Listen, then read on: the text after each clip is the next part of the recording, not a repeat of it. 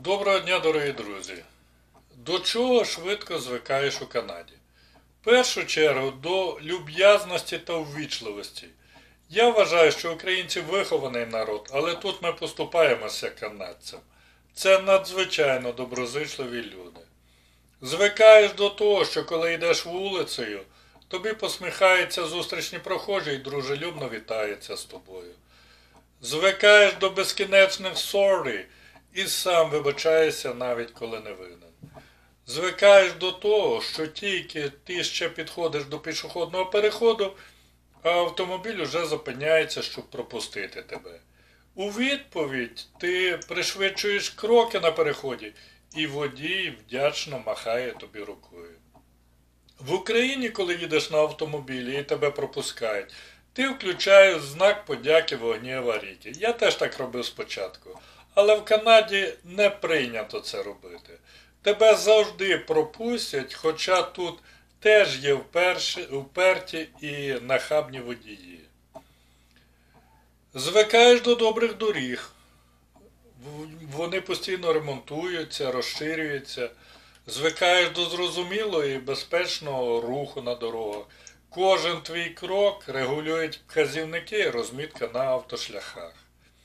Звикаєш до того, що з вечора випав 30-сантиметровий сніг, а ранком виїжджаєш на дорогу і вона акуратно почищена, особливо хайвеї. До заторів і корків не треба звикати, бо вони були і в Україні, зокрема у Києві. Звикаєш і навіть дивуєшся своєю терплячістю, бо обурюватися, виставляти якісь претензії серед канадців не прийнято. Звикаєш до не надто смачної канадської їжі. Принаймні українські продукти, особливо м'ясні вироби, ковбаси, шинки, буженина набагато смачніші. Цукор не солодкий. Замість українських двох чайних ложечок кладу три. Сіль не така, як українська, і це дійсно так. Я часто готую улюблені українські страви, скажімо, борщ, бограч, карпатську зупу овочеву, тобто суп. І з перших разів ніяк не міг вгадати сіллю. То не досолив, то пересолив.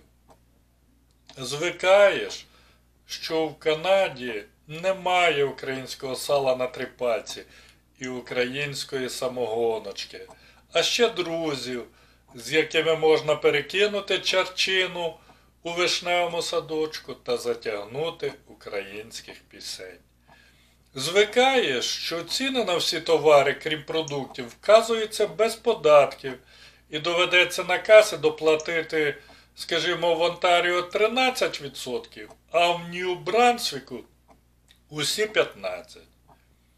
Звикаєш, що найближчий продуктовий магазин трохи подалі, і тобі треба їхати до нього автомобілем. А якщо туди вже їдеш, то мусиш запасатися продуктами на тиждень.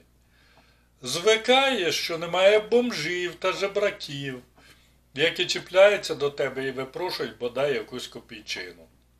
Може, десь по великих містах вони і є, а тут, де я живу, то я їх не бачив.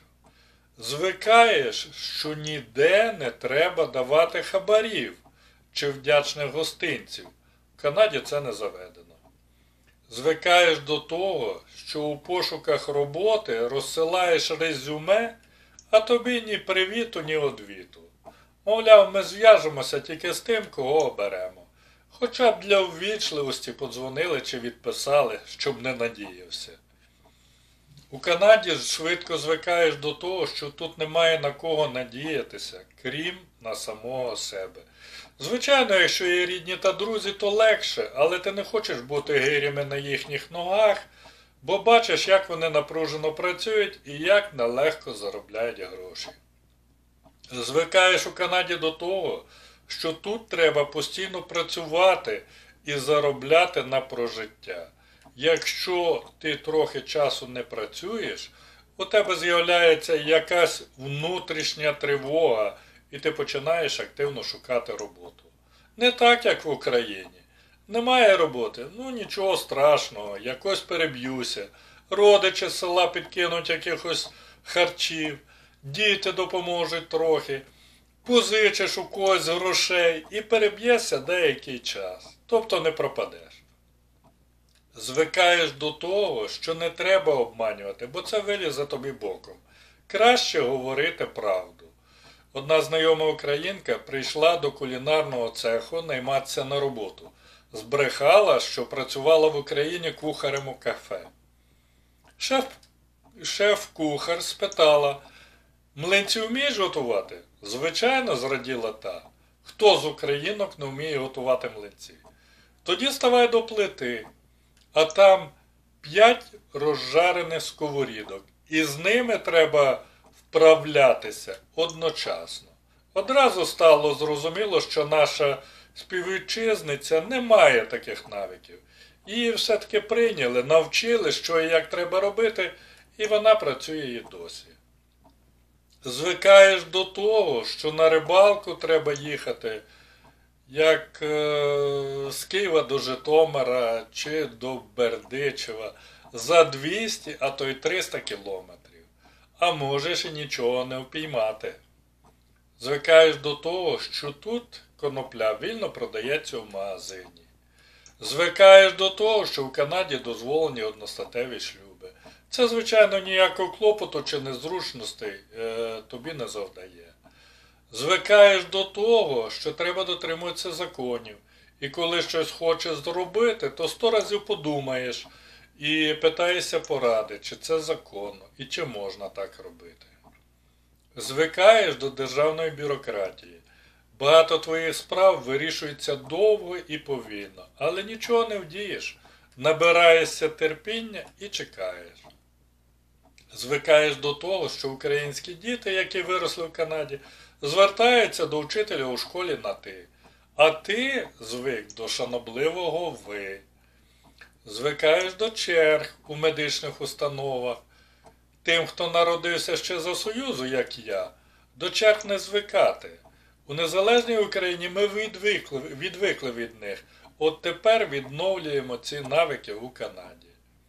Звикаєш до того, що перестаєш думати, а скільки грошей треба дати лікарю, щоб не було замало і водночас не забагато. Маючи трохи вільного часу у різдвяні канікули, я знайшов собі сімейного лікаря і почав обстеження свого стану здоров'я. Лікар справді високопрофесійний і доброзичливий. Мої друзі сказали, що мені доведеться часто ходити до лікаря, бо це є недоліком безплатної медицини. Я був уже тричі. Лікарю держава платить за кількість прийомів. Слава Богу, і здоров'ям у мене все гаразд. До речі, ніколи не забувайте взяти з собою Health Card, коли йдете до будь-якої медичної установи, чи то до лікаря, чи до лабораторії.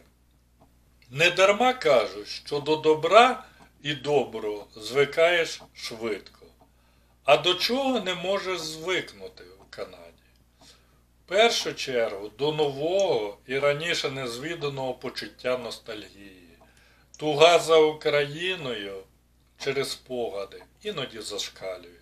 Хочу поскоріше додому, до рідних Києва і Карпат.